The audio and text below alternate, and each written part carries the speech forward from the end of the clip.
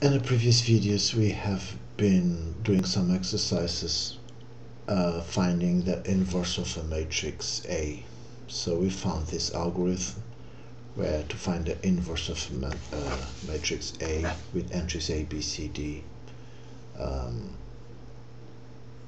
it is enough to get the scalar 1 dividing the determinant of A and then switching A and D and switching the sign for B and C. Of course, if you have a 3 by 3 matrix, everything changes, right? Because it's not so easy and everything is more complicated. I'm going to to get the inverse I'm going to get the inverse for A here through a very theoretical process. Of course, there are several other ways to find the inverse of a matrix and later in later videos we will see the very handy and very quick ways. Now I'm going to do in this video a very theoretical one. Feel free to jump this video if you're not interested in what we do in this process is we put here matrix A 1 0 2 2 minus 1 3 4 1 8 so that's matrix A. And here we put the identity matrix 1 0 0 okay and now what we do is um, we perform some uh, Gaussian elimination till we get so we are going to do all the, the possible operations till we get the identity matrix on the left side.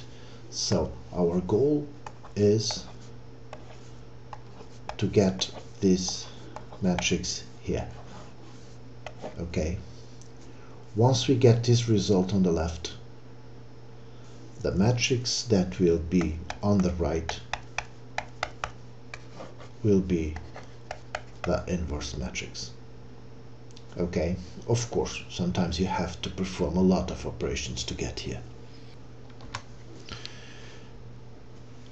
Okay first what I will do is line 2 I'm going to subtract line from line 2 minus 2 line 1 I'm going to multiply this by 2 and subtract here.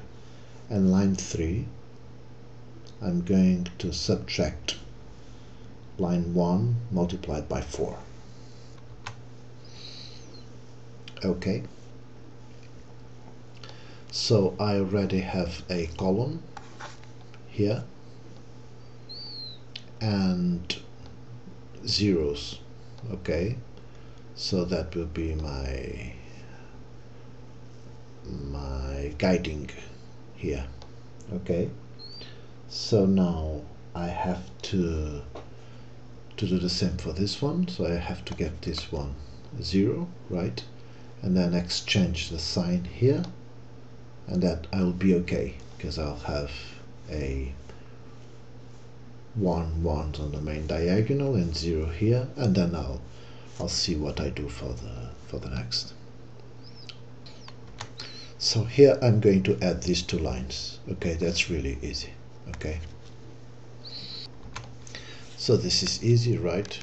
If we add those two so 0 plus 0 is 0 minus 1 plus 1 is 0 so I reached my goal. Okay minus 1 plus 0 is minus 1 minus 2 minus 4 minus 6 1 plus 0 1 0 plus 1 1 okay.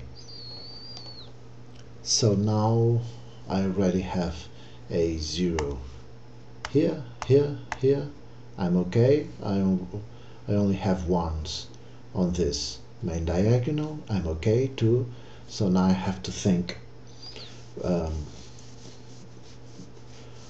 um, probably the best the, the best first thing to do is to change the, to multiply by minus 1 this line here.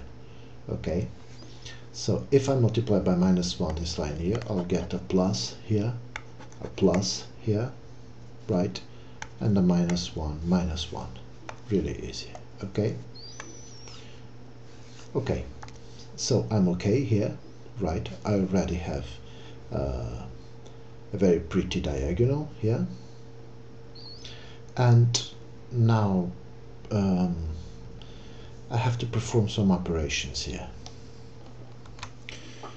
So what I'm going to do is I'm going to add this line with this one.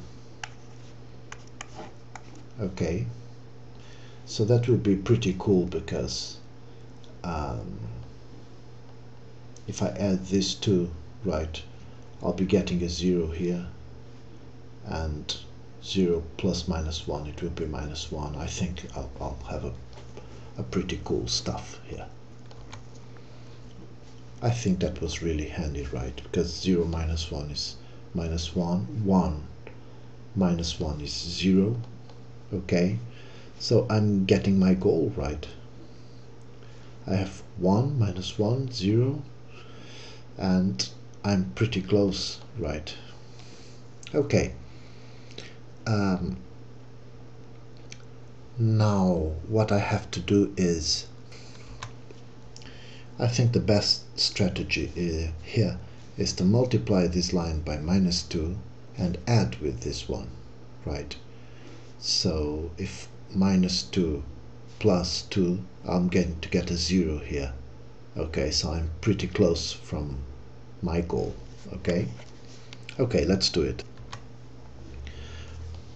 So 0 plus 1 is 1 0 plus 0 is 0 and now minus 2 here plus 2 that will be 0 minus 12 plus 1 minus 11 2 plus 0 2 2 plus 0 2 okay?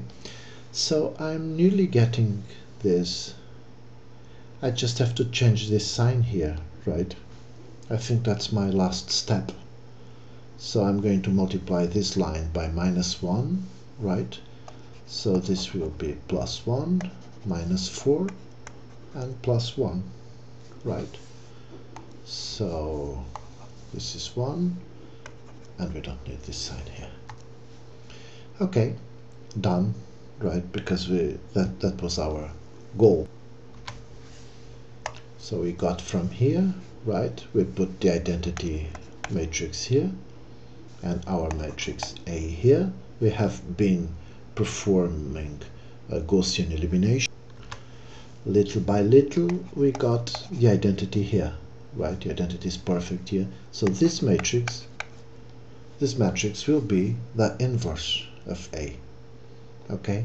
And now you can check, you just pick, um, just pick matrix A, pick the inverse and see if you get the identity okay very long very theoretical um, lots of calculations very careful calculations you see because one of the temptations here is start dividing everything by 4 and by 2 and then you get a lot of fractions here and then all your calculations get really uh, messy.